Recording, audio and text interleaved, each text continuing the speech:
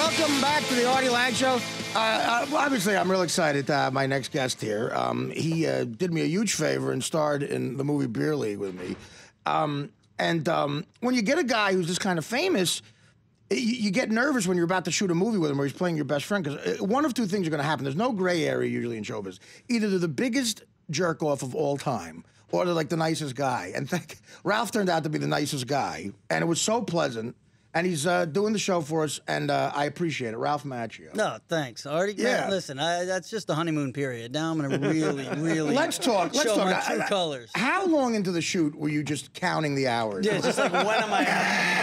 I, I would say I would half say, hour after you met Palumbo. Yeah, no, after no, don't don't blame it all on the sidekick. All right, don't blame it. You, Are you know, saying I- been- are you saying been- I have some issues? Yeah, I- maybe, maybe, po- possibly, possibly, but uh, yeah, you can't blame it on the sidekick because Yeah. you've been there. Right, no, okay. yeah, Uh, now that you're the star of the show, um, but uh, I think that uh, once it hit 99 degrees in Jersey in July, Yeah. was probably when I was counting. And I was in the uh, the honey wagon, that four foot by Right, four right. foot uh, tin. Well, it is. You you do a guy like you to, to do. You really do have to humble yourself because you've been in like as big a budget movie as you could be, right? What you do? Three Karate Kids? Or- I, I did uh, one and a half. I talk about. Oh, okay, Yeah, right, no, yeah. I did do three. I yeah. did do three. I mean, listen, uh, no American should have turned down three. Come on. That's right, I and uh, my cousin Vinny, and you know, Yep. And uh, outside's working with like you know Francis Ford Coppola and all those things. So it's pressure for me, kind of, because even though I'm the lead of the thing, I'm like, he's not going to tolerate me like screwing up lines or being late. Right. And I love being late. Yeah.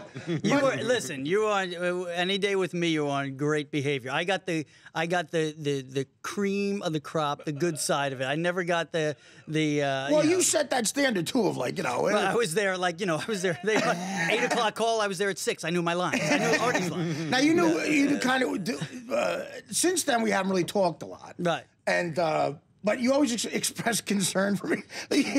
like you, you. Uh, that's the other thing that was impressive about you is you, you get worried when you meet a real sort of iconic guy. Because you wonder, did they go the way of Leif Garrett at all? And you seem to have never had. Did you ever have any trouble with a substance, or Uh, did you ever go through any bad times? Like no, you I know? went into bad times, but never with a substance. No dead hookers in a no, hotel no dead room? hookers in a hotel room uh, that I would bring up. How did you avoid that? No, it just wasn't your personality. It was. I gotta.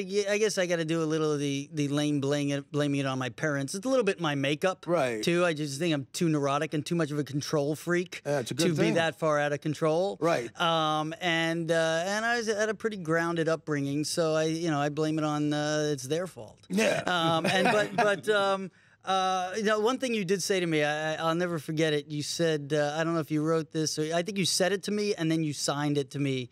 Uh, so give you credit. You said, uh, having you in this movie makes it feel like I'm really making a movie. yeah, no, you're exactly. So yeah. that was very, very cool. I think So- I signed it and, and said I can't come up with great stuff like that all the time. I, I don't know, but I, there was a team of there was a team of writers that came. Put it this way. you delivered it great.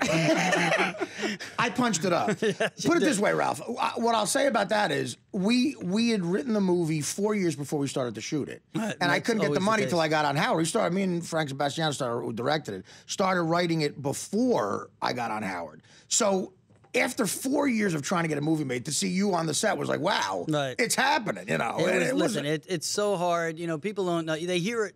You know, we hear it all the time, and Right. we know how hard it is to get any project up and going, be it film, television, or whatever. Yeah. But it really, uh, four years is, uh, it's uh, sad to say, is a short period of time. I know. From from blank piece of paper to you know, Right. to getting it done and getting the financing and get, getting it up. And uh, I mean, I run into people. I gotta say, I run into people.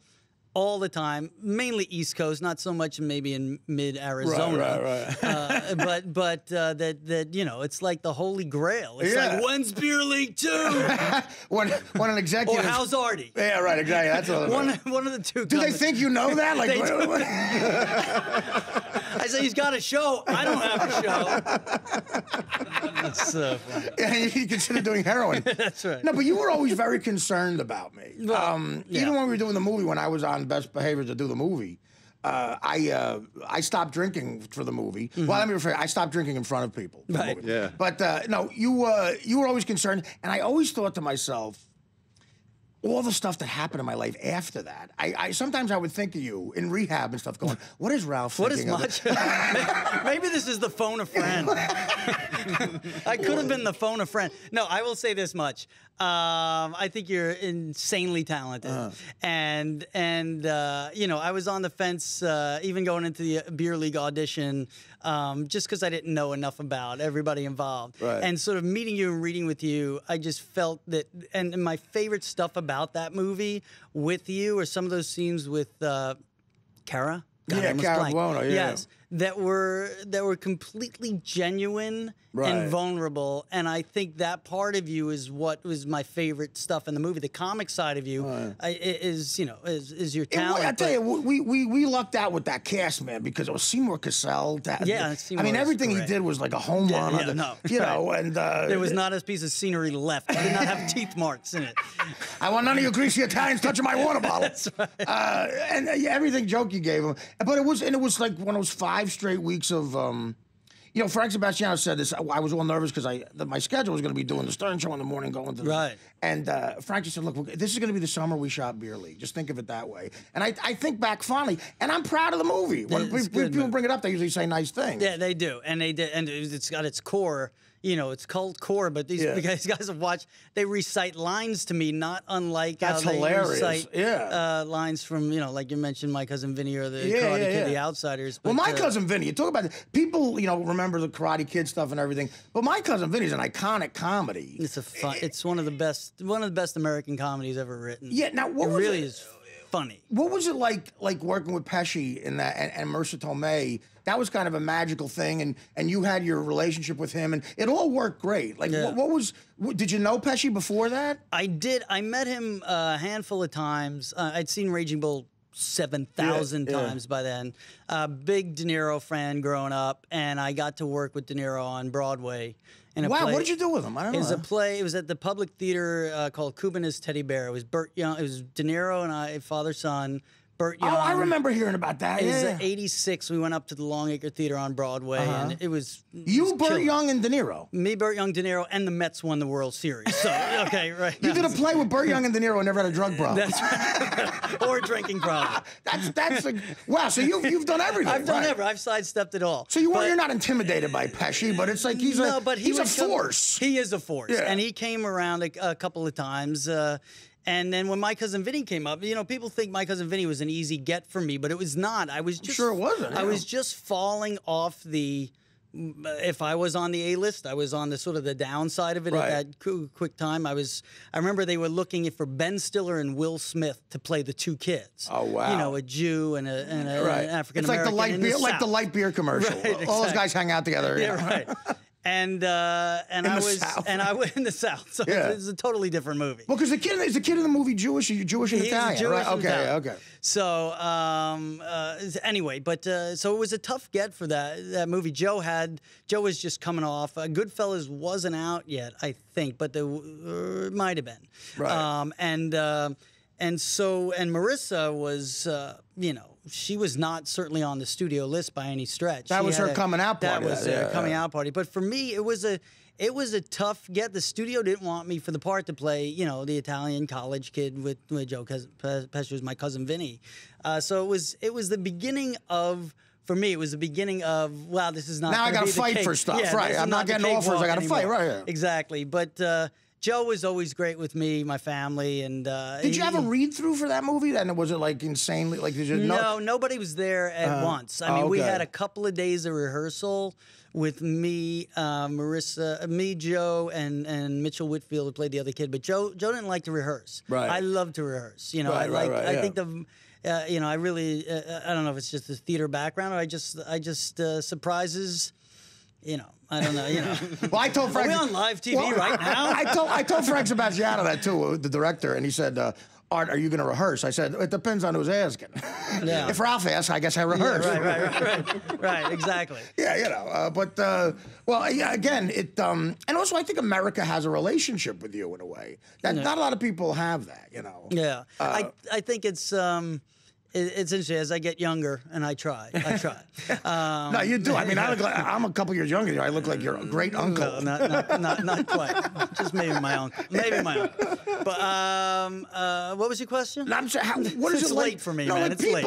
how do people react to you on the Oh, street? Well, what happens with me, because you mentioned uh, uh, I've I've become part of everybody's childhood. You know, right. upbringing. Definitely, yeah. And so so it's a it's a sort of it's sort of a burden and a responsibility, but something I embrace. I might not have embraced it as much ten years ago as I do now. Right. You know, uh, because you, I mean, you could you'd sign up for that any day if you could represent a positive part of somebody's Right, life uh, yeah, some way. definitely, And yeah. the, the characters, certainly the Karate Kid, and, and the Outsiders. You know, it's a book that's, That's read an in enormous today. thing. Yeah.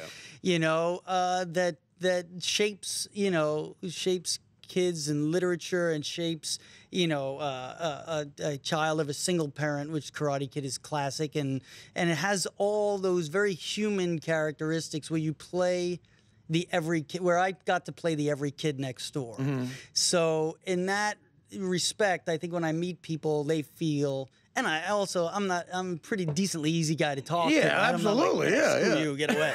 I'm sort of embracing of Right. it. So I think it, uh, the downside is they, you know, literally don't want to stop talking. I know, it happens. you know, yeah. because I'm, Right. I'm so affable, I kill myself. Well, at least uh, with me, they want me to sign their Vicodin prescription. That's right. Uh, that- well, you uh, that's the thing. I mean, I think the bigger they are. I also worked with Brooke Shields once, and she could not have been nicer. And I think the longer you're a star, uh, a lot of people they they know how to handle themselves with people. Right. And uh, but the less famous people have attitudes, and you just want to strangle them. You know, Yeah. The- yeah, they're, they're prima donnas. You know. It comes a little too quick. Yeah, absolutely. What about working with Coppola around the outside? That's an interesting time in his career. Ten, Yeah. 10 years after The Godfather, he's going through a lull, you know? Yeah, well, he he, lost all his money with Apocalypse from, Now. and one from the heart. Was one, it- one from the wallet, as they call it. was did Apocalypse? what was? How far after Apocalypse Now was The Outsider? Apocalypse Was was, his next movie? 80. No, no, no. One from No? the Heart. Oh, was okay. The, one from the Heart was the movie he made where he built Vegas, And a huge bomb. uh, and it was a huge bomb. Right. I, I like the film very much. Great score of Tom Waits and Crystal Gayle. Can't beat great, that, it was great, great score. And uh, it was Teri Garr and Freddie Forrest. Yeah. At that time, you Right. know, and but but that film uh, tanked, and he was it it was coming out, and he was casting The Outsiders at the time, and The Outsiders was one of those. I'll never forget that audition. It's infamous, famous and infamous at the same time. It was. It's never been done before. He would have. It was Zoetrope Studios, which was Coppola's studio at the time, which he hadn't lost yet. He was bleeding money, though. It's like a re- really weird Yes. time in his life. It was yeah. a very weird time. I mean, Apocalypse did him in, and, and One from the Heart just. But so then he wanted to make the two quickest movies that appeal to young people. Right. So he he did uh, The Outsiders and Rumblefish. Oh, right, right in a row. That's Uh, right. You yeah. know, um, uh, Stewart Copeland did uh, the music in uh, in Rumblefish. Very cool, black and white. Mickey Yeah, Rourke yeah, Matt yeah. Dillon. But anyway, so so the Outsiders was about everybody in town wanted to be uh, in that movie. I Well, mean, that I, I cast read, is I read it Right. when I was twelve, Right. and I wanted to be that part. So Mm. that was that was one that and the De Niro play were the two sort of pinnacle dream come trues of that time for me. Right, right. And uh, so we all that audition process with the outsiders. He had all the actors in Hollywood. That's why I wanted to ask you, though. in one room The guy- watching o- each okay, other. but the guys in that movie that ended up being in the movie, was there ever a part of the audition where everyone who got the movie, from Tom Cruise to C. Thomas Howell, you Right. were all together in the room uh, reading and and you know auditioning, changing roles like like a theater Wow. workshop. And it was tough because you're watching Francis. You know, every reaction he made, he's like, "Oh, he liked that." You know, Mm-hmm. so now you're tailoring your performance.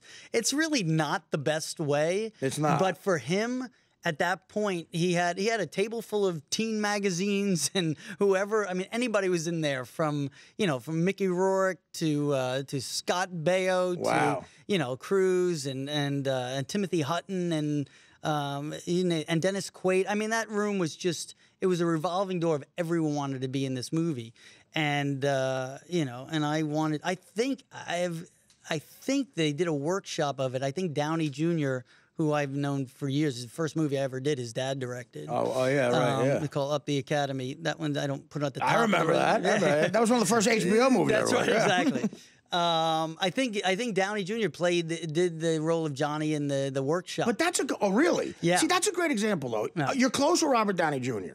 the other end of the spectrum of, of like what happened. You know, Right. what do you think? What, what is it? Just the personality of the person? Of what? What? Why I Like why he's you know did nine months for Well, I mean, he for grew- uh, having a hooker in a room with a Wonder I- Woman I got- outfit, and, exactly. and you're taking your kids for ice cream. That's right, exactly.